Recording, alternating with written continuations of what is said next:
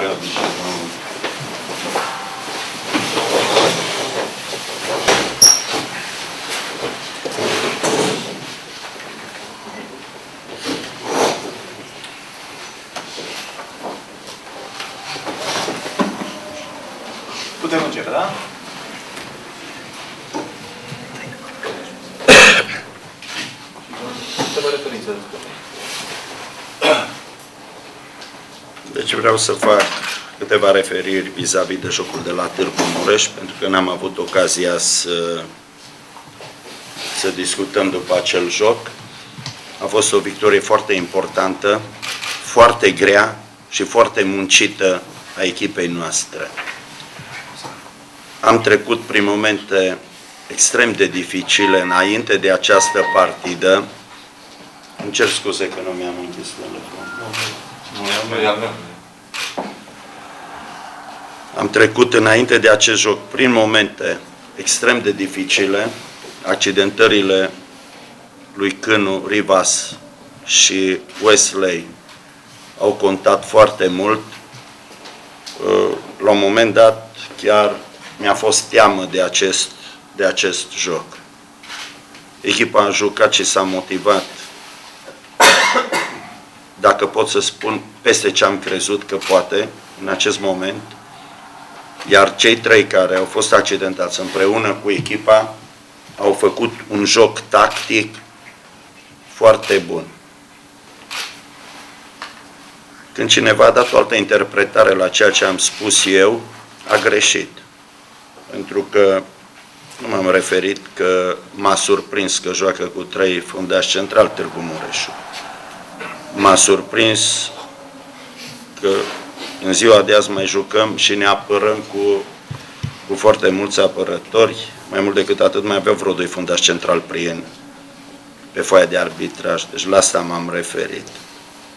Dar echipa noastră a fost pregătită pentru acest joc, iar starea de spirit a echipei a contat foarte mult. O stare de spirit care uh, cred că este valabilă și pentru jocul de, de luni cu Universitatea Cluj.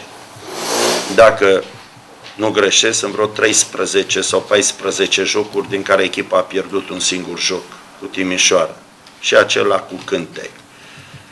Deci este de luat în seamă ceea ce face Vasluiul, indiferent că în anumite momente ale jocului pe parcursul celor 90 de minute, jocul este spectaculos sau nu. Deci în momentul ăsta, cred că contează foarte mult punctele pe care trebuie să le acumulăm și nu cât de spectaculos uh, devine acest joc. Jocul cu Universitatea Cluj nu este cu nimic mai ușor decât jocul de la Târgu Mureș, chiar dacă jucăm acasă. De fapt, cred că jucăm tot în deplasare pentru că n-am reușit să intrăm nici măcar o dată pe teren. Deci până în astăzi, deci mai avem mâine. Să vedem cum este mâine timpul. Deci suntem la fel ca și Universitatea Cluj de străini cu, cu terenul de, de joc pe care vom juca. Pentru că nu suntem obișnuiți și nu avem nicio acomodare cu spațiul de joc. Nici nu mai știu băieții cum sunt tribunele, pe unde sunt porțile și așa mai departe. Deci este foarte greu într-un singur antrenament să facem această reacomodare cu spațiul de joc. Trebuie să ținem cont de condițiile meteo. Aseară am făcut un antrenament la ora jocului, în care cred că erau minus 13-14 grade. O temperatură la care cred că este aproape imposibil să joci. Deci este foarte greu să joci la o asemenea temperatură. Cel care programează jocurile, cred că ar trebui să țină cont de aceste aspecte, nu doar să le programezi, indiferent de luna în care se joacă, de ce temperatură este afară să programezi aceste jocuri. Apoi întâlnim o echipă Universitatea Cluj care are în lot șapte jucători noi, șapte jucători foarte importanți. Au un portar nou, pe Marius Popa, au doi fundași central noi, pe Pele și pe Abrudan, au doi mijlocași centrali noi, pe Păcurar și pe Marcel, Nasel Merasel, au, uh, au pe Cristia și pe Tony, care sunt jucători noi de șapte jucători în primii 11 jucători care uh, au experiență multă, care sunt foarte tehnici și care știu foarte bine jocul. Deci cine, cine consideră că jocul este ușor, se înșală. În opinia mea, Clujul este o echipă care este de primele șase locuri. Iar noi trebuie să muncim foarte mult, să transpirăm foarte mult și să încercăm să rezolvăm momentele cheie ale jocului în favoarea noastră ca să putem să câștigăm uh, acest, acest joc. În rest, sper ca suporterii, chiar dacă este frig, chiar dacă este târziu, să vină și să susțină echipa. Pentru că această echipă este o echipă care merită, cred că, atenție din partea tuturor. Chiar dacă noi nu ieșim în presă, nu ieșim nici cu scandaluri, nu ieșim nici cu cancanuri, nu ieșim cu alte probleme decât fotbalul și ce este pe teren, cred că ar trebui să, uh, să ni se acorde atenție și să, ni se, să li se acorde jucătorilor respect. Am adus trei jucători care sunt trei pioni importanți în echipă, pe Cârnu, pe Rol și pe Ada Ailton. Vreau frumos să stați de vorbă cu ei și de acum încolo eu să fiu doar de decor.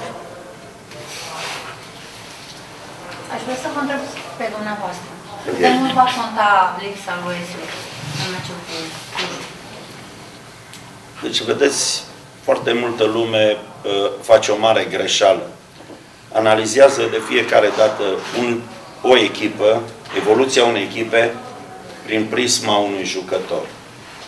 Sau dacă eu am o afinitate extraordinară de un jucător, trebuie să, eu trebuie să gândesc jocul în funcție de acel jucător. Nu. Deci trebuie să privim echipa prin prisma grupului și prin prisma echipei. Nu trebuie să mai vorbim de lipsa lui Wesley, pentru că aș vorbi despre faptul că aș bea un pahar de apă când afară sunt 40 de grade și de vreo 3 ore n-am beut niciun pic de apă și mi-e sete, nu mai pot. Deci exact așa este. Wesley este un jucător important care cu siguranță ne va lipsi. Tocmai de aceea am spus la început, dar n-ați reușit să deduceți dumneavoastră, de importanța grupului, de starea de spirit la echipă, care, uh, de forța grupului, care trebuie să treacă peste orice obstacol ca să putem să obținem încă o victorie și nu vreau să ascund nimănui că aș dori după etapa aceasta să fim pe locul 2. Deci nu pot să ascund că uh, ne dorim, gândim acest lucru, să facem un pas ca echipa aceasta să ajungă pe locul 2. Să știți că am fost atentă la dumneavoastră, dar am adresat întrebarea prin prisma faptului că la Târgu Mureș Wesley a schimbat jocul în repriza a doua când l-ați introdus pe, pe teren. Deci mi-a motivat întrebarea. Gabi, cum vezi meciul cu Universitatea Cluj? Da, e primul meci acasă. Am început uh, cu dreptul acest retur și singura soluție în meciul acesta este victoria, pentru că nu ne mai permitem pași greșiți, cum am făcut la începutul campionatului. Dacă până acum am avut timp să redresăm, să recuperăm, de acum fiecare punct contează și nu mai e loc de, de pași greșiți. Eu, unul, văd un meci foarte greu, o echipă bună, jucători buni, care au jucat la echipe mari din, din țară, un antrenor de afirmare, care se știe a mai antrenat în prima ligă, tânăr, și nu va fi un meci, nu va fi un meci de rău ușor. Însă sperăm la sfârșit să echipa cea mai valoroasă, care cred că suntem noi, să conducă jocul și să se bucure la final. E mai puternică Universitatea față de meciul tău? Părerea mea că da. Venit alți jucători, v-am mai spus, de la echipe puternice, portarul a fost și la echipa națională, Cristea, nu mai mulți. Claudiu Niculescu execută lovituri libere foarte bine, poate câștiga un meci în fază fixă. Deci este o echipă foarte periculoasă și trebuie tratată ca atare. Noi cred că suntem destul de maturi și avem jucători jucătorii valoroși în lot ca să tratăm meciul cum trebuie și să ne bucurăm. Raul, meciul tău a fost uh, a jucat în, mai mult în apă, acum terenul să fie destul de Deci joc. acum jucăm pe gheață.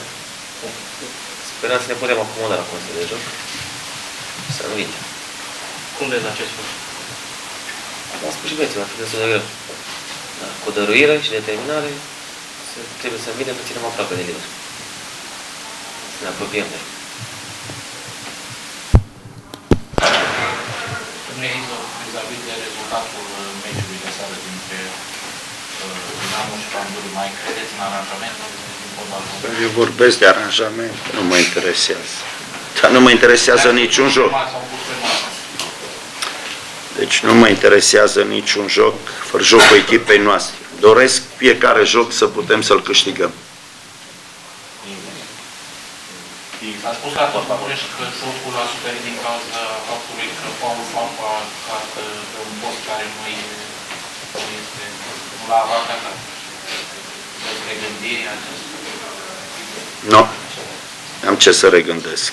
Am doi fundași centrali care uh, îmi fac foarte bine treaba. Paul este tânăr, trebuie să învețe jocul acolo, n-are de ales.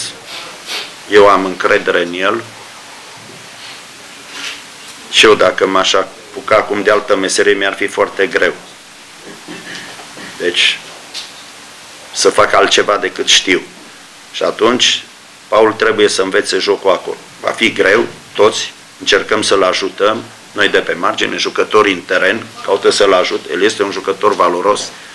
E un jucător care eu cred că va juca mult mai bine în zona laterală decât aici. Are o capacitate de efort foarte bună, trebuie să aibă mintea limpede, să fie liniștit, să știe că echipa are încredere în el. Este un lucru, un lucru foarte important ca un jucător tânăr să știe că ceilalți jucători, jucători cu, cu fotbal mult în spate, uh, au încredere în el. Acesta este cel mai important lucru. Și atunci crești. Pentru Martin, ce știe despre adversar? Despre tot nu a jucat. Ada, what do you know about uh, Universitatea? Uh, I saw the the match because I arrived here the, in the start of the season. Uh, they they change uh, some players, but uh, schimbat câțiva jucători. it's a uh, team very strong. Este o echipă good quality, and uh, for us every match is difficult now because we want to win, we need to win